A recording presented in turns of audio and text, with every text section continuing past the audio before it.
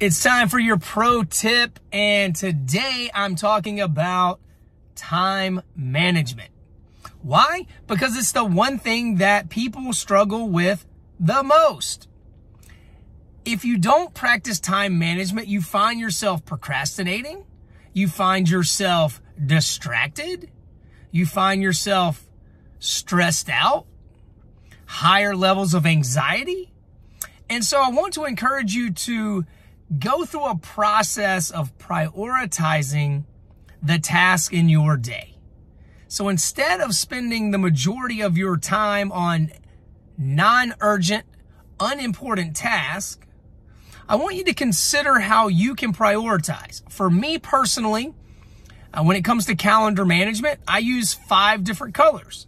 Each one of the colors represents a different type of task.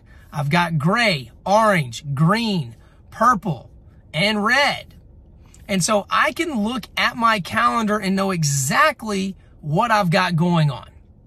I also encourage you to block off days and periods of time for specific tasks. So for example, maybe you look at Mondays, Wednesdays, Fridays from 9 a.m.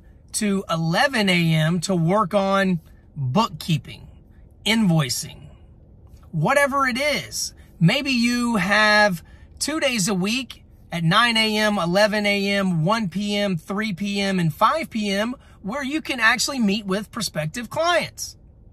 Whatever it is, you need to have a dedicated day and time. And then finally, utilize a task management software. Personally, I use Asana. Asana uh, connects with my Google Calendar. It keeps me on track.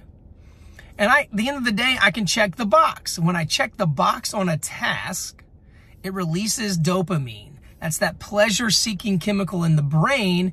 So it then signals that I've accomplished something.